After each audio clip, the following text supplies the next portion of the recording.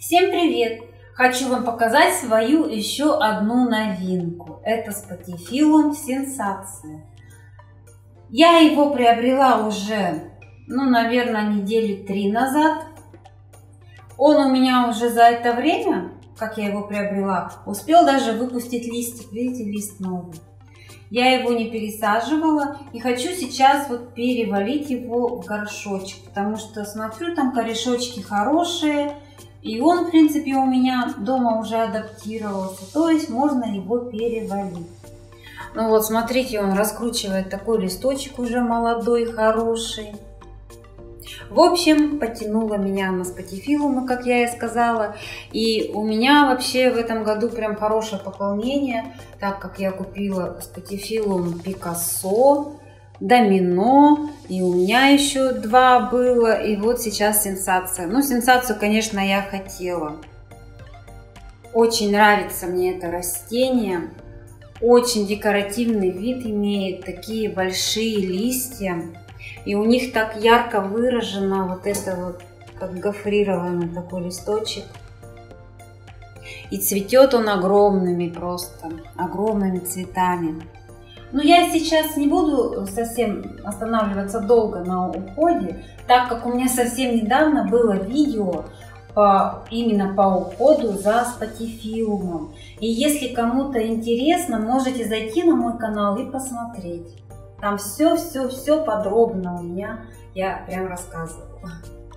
Такие крупные листья, но это еще не самый крупный размер. То есть это все равно еще отделение как бы более мелкое, это как бы детка получается.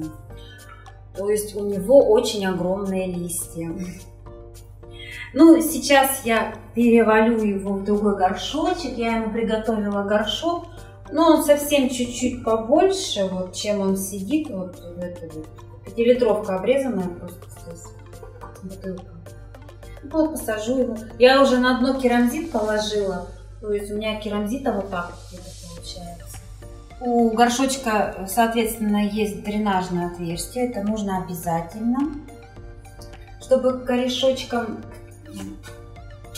влага не застаивалась в общем, внизу, нужно обязательно дренажное отверстие. И сейчас по ходу я вам расскажу, какой я грунт приготовила. Ну, вот такой грунт я ему приготовила. Он довольно-таки рыхлый, питательный. Ну, у меня здесь идет немного универсального грунта обычного. Ну, такого хорошего, конечно, желательно немного кокосового субстрата, немножко совсем кора, но она такая очень мелкая, древесный уголь. Положила сюда щепотку удобрения Осмокот Про длительного действия. Я использую удобрение Осмокот Про. Ну, мне нравится это удобрение, я, в принципе, добавляю его в, во многие растения.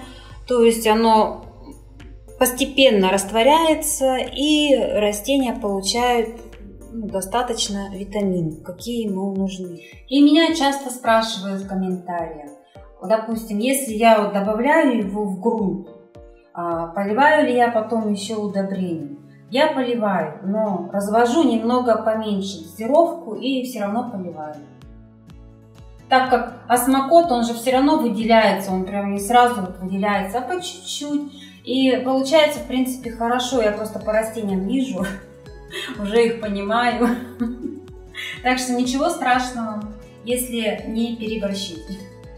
Ну все, приступим. Так, керамзит у меня там есть. И я сейчас добавлю немного грунта. Грунт должен быть очень рыхлый, воздухопроницаемый, чтобы вода не застаивалась. В общем, как для всех ароидных растений. Спатифилум же у нас относится к ароидным. Но сейчас я его аккуратненько перевалю, чтобы не травмировать его. И пусть он уже растет у меня в этом горшочке. Ну, вот он прям вообще, знаете, не идет никак. Придется разрезать, потому что я боюсь, что у него вот эти нижние корешочки там они просто как, знаете, переросли что ли. Конечно, грунт я старый не, буду убирать. Я его просто аккуратненько сейчас отсюда постараюсь извлечь.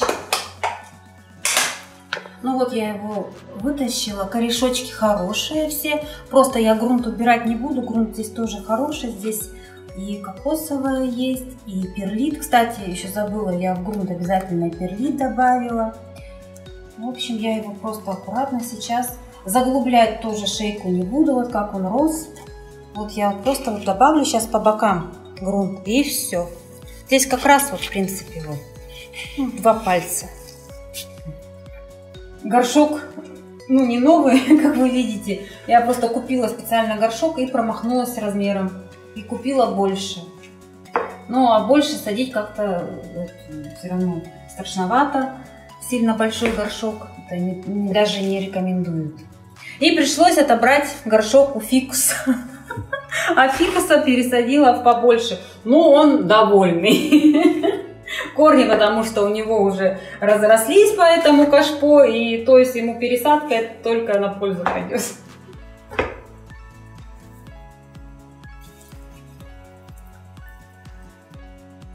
В горшочке сразу смотрится растение по-другому.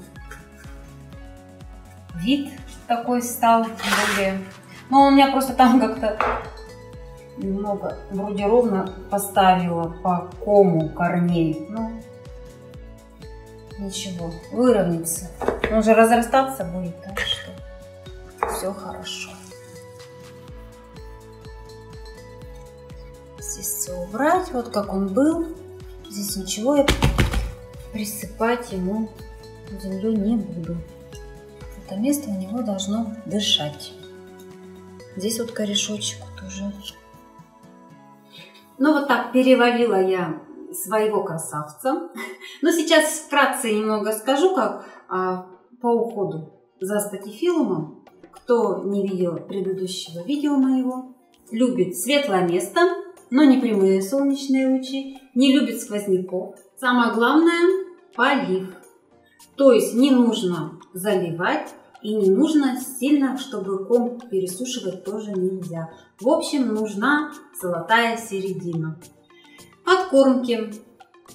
Ну, так как я использовала смокот, но все равно я буду его еще подкармливать раз в 14 дней а, удобрением для цветущих растений но доза у меня будет меньше.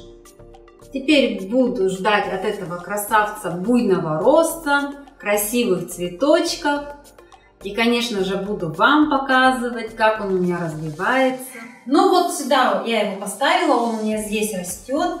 Здесь у него компания, здесь стоят антуриумы, тоже его родственники, тоже ароидные. Как видите, у меня здесь довольно-таки светло. И меня, конечно же, выручает лампа, которую мне прислали на тестирование. Лампа Mars Hydra. Кому интересно, я ссылку оставлю в описании под видео. Увидимся в следующем видео.